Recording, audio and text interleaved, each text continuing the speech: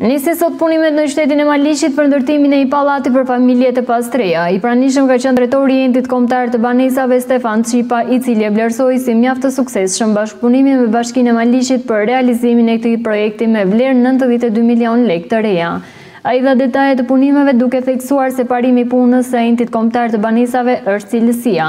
E jemi sot në qytetin e Maliqit për të filluar një investim të një objekti godinë prej gjashtë katesh, pesë kate janë banimi dhe kati i parë është shërbime dhe një pjesë banim, me një kat nëntokësor që shërben për parkime.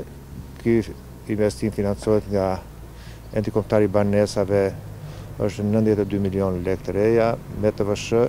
Afati i mbarimit Është treqind ditë kalendarike, pra i bie rreth dhjetë muaj. Ne kemi një parim, domethënë nuk diskutohet për financimin, por nuk tolerojmë në cilësi. Kjo e ka treguar edhe investimet e tjera që ka bërë Enti Kombëtar i Banesave jo vetëm në qarkun e Korçës, por në gjithë Shqipërinë. Shpresojmë që me.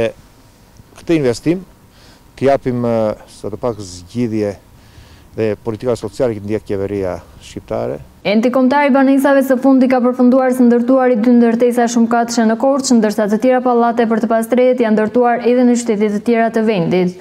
Drejtori Çipa tha se janë në diskutime me Bashkinë e Korçës për një tjetër projekt ndërsa janë të hapur të shtrihen edhe në Pogradec apo në të tjera qytete ku do të ketë kërkesa për këto lloj projektesh.